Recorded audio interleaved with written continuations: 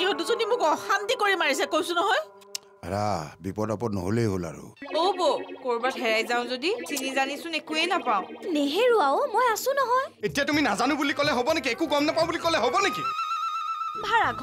আজিৰ খণ্ডটি উপভোগ কৰক ন বাজি ত্ৰিছ মিনিটত আপোনাৰ একমাত্ৰ প্ৰিয় চেনেল ৰঙত